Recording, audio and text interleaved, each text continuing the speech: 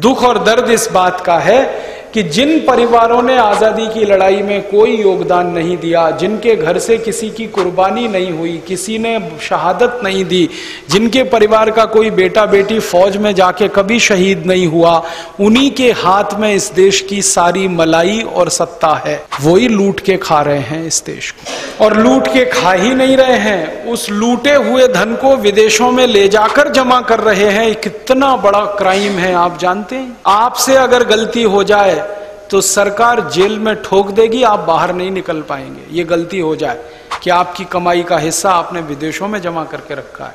Crime है लेकिन हमारे बड़े बड़े नेता ये क्राइम रोज करते हैं किसी को जेल नहीं होती, किसी को पुलिस नहीं पकड़ती, किसी के घर चापा नहीं पड़ता सीबीआई की रेड नहीं होती इनकम टैक्स की रेड नहीं होती, क्योंकि वो सत्ता व्यवस्था में शामिल।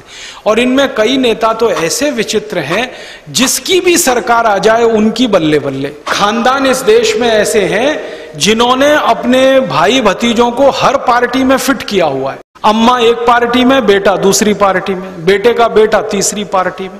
राज्यों में भी ऐसे हैं, केंद्रों में भी ऐसे मतलब सीधा सा है, लूट का माल उनके घर में आते रहना चाहिए, इसका पूरा चाक चौबंद इंतज़ाम उन्होंने किया हुआ है। और इतनी बेदर्दी से लूटते हैं ये लोग कि हिंदुस्तान के डकैत भी इनके सामने फीके। मैं कभी कभी याद करता हूँ, इस देश में एक डाकू माधो सिंह होता था। एक डाकू मोहर सिंह होता था, एक डाकू जालिम सिंह होता था, जो लूटते थे घरों में जाकर पैसा। वो लूटते थे और गरीबों में जाके बांटते थे। रॉबिन हुड थे हमारे सोसाइटी। अब हम उनको डकैत कहते हैं। अमीरों से लूट के गरीबों को देने वालों को डकैत कहा जाता है। तो इनको क्या कहें? तो आधुनिक जमाने के माधो सिंह, मोहर सिंह और जालिम सिंह। तो लूटते हैं। गरीबों पर तो एक पैसा खर्च नहीं करते। लूट कर ले जाकर इसको स्विस बैंकों में जमा करके रखते हैं अपने कुत्ते बिल्लियों के नाम से।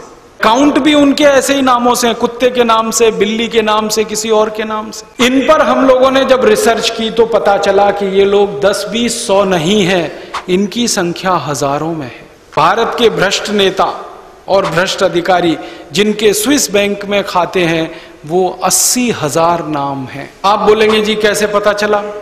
स्विस बैंक वाले तो बताते नहीं, बात बिल्कुल सही है, वो नहीं बताते। जब तक कि उनके ऊपर कोई मुसीबत ना आए, वो नाम नहीं बताते। इसी का पैसा लेते स्विस बैंक बड़े इंटरेस्टिंग बैंक हैं। वो जो जमा पूंजी होती है ना, उस पर ब्याज नहीं देते। उल्टा सर्विस चार्ज लेते हैं जमा करने वाले से। बदले में सीक्रेसी मेंटेन करते हैं।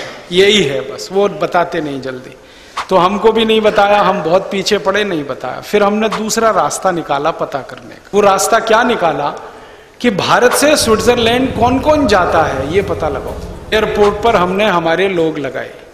Delhi airport, Bombay airport, Madras airport, Calcutta airport, Bangalore airport, जहाँ से डायरेक्ट फ़्लाइट है स्विट्जरलैंड की। इनडायरेक्ट वाली तो अभी हमने बात ही नहीं की। यहाँ से स्विट्जरलैंड को सीधे फ़्लाइट होती है ज्यूरिक जाती है, जिनीवा जाती है, वो एयरपोर्ट का हमने निकाला आंकड़ा।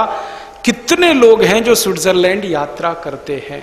तो पता चला वो तो एक लाख से ज़्यादा हैं हर साल जो यात्रा करते इन एक लाख में से बीस हज़ार ऐसे हैं जो पहली बार और आखिरी बार यात्रा करते हैं। एक बार जाएँगे, देखेंगे, फिर दोबारा नहीं जाते। वो घूमने वाले लोग हैं टूरिस्ट हैं। उनको हमने पूछे इंटरव्यू लिए कि आप क्यों नहीं गए दूसरी बार? तो उन्होंने कहा, रखा क्या है वहाँ? पहली बार गए थे, हमने नाम सुना था, लेकिन गए तो वहाँ कुछ नहीं है। उससे ज़्यादा सुंदर तो उत्तराखंड है, उससे ज़्यादा सुंदर तो जम्मू कश्मीर है। वो कहते हैं, इतने स्थान है अपने भारत में जो बहुत सुंदर है। हमने तो नाम बड़े और दर्शन थोड़े ये पाया वहाँ जाकर। फिर वो दूसरी समस्या बताते हैं। वो कहते हैं, दो घंटे की कार ड्राइव करो तो देश ही खत्म हो जाता है। इतना छोटा सा देश है। उद्योग कोई है नहीं उस देश में। व्यापार कुछ होता नहीं है। ट्रेडिंग कुछ नहीं है। कोई ट्रेडिंग एक्टिविटी नहीं है। और इंडस्ट्री कोई नहीं है। फिर भी दुनिया में हाईएस्ट इनकम ग्रुप में वो देश आता है। पर कैपिटा इनकम में स्विट्जरलैंड हाईएस्ट है पूरी दुनिया। उनके आदमी की एक साल की जो आमदनी है वो दुनिया में किसी देश के आदमी की नहीं है। खेती कुछ होती नहीं, क्योंकि साल में आठ महीने बर्फ़ पड़ती है। खेतों में बर्फ़ जमा रहती है, घास का तिनका भी नहीं उग सकता तो खेती नहीं है। अब कुछ नहीं है तो हाईएस्ट इनकम कहाँ से है?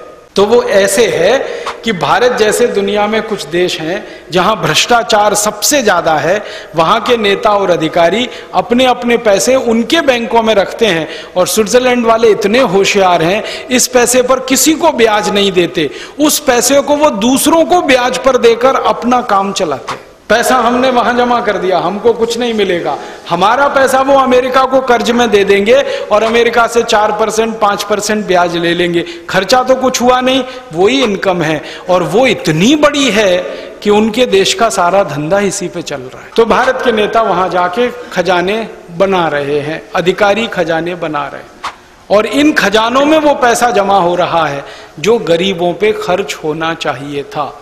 जो विकास के लिए लगना चाहिए था, वो पैसा वहाँ गया। तब समझ में आता है कि आज़ादी के बासठ साल के बाद विकास क्यों नहीं हुआ। आज़ादी के बासठ साल के बाद देश की ये परिस्थिति है कि हमारे देश में छह लाख अड़तीस हज़ार तीन सौ पैंसठ गाँव में से चार लाख गाँव में अभी भी बिजली की व्यवस्था नहीं है। ढाई से तीन लाख गाँव में चलने के लिए सड़क नहीं है। तीन लाख गाँव में प्राइमरी हेल्थ सेंटर नहीं है, डॉक्टर नहीं है, दवा नहीं है। आधे से ज़्यादा बच्चे शिक्षा से वंचित हैं इस देश में।